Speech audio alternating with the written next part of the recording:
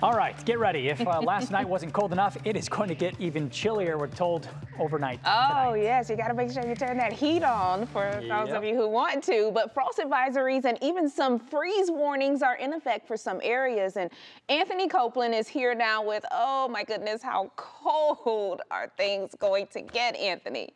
Yeah, things are going to get really, really cold for parts of the area. In fact, some of the season's first frost and freeze expected for tonight, but for this evening, we're going to be holding steady with cloud cover. Some of us could be lucky to see a little peaks of sunny skies, but throughout the next 24 hours, things will be dramatically improving. But the clearing skies is not exactly going to be our friend for tonight, especially for communities outside of the city.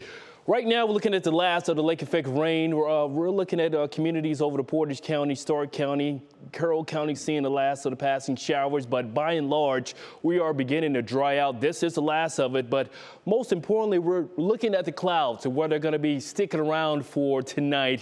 There is the rain, here's the clouds, and here's the clearing line way off to the west in central portions of Illinois and Indiana. That's going to be heading in our direction. So the clearer the skies will be, that's going to let for a little bit more radiational cooling. That is where we have the freeze warnings and frost advisories posted. So coming up, full detailed look at just how cold these temperatures will get. And also a weekend warm up is in sight. Sunny, you go gorgeous conditions on the way.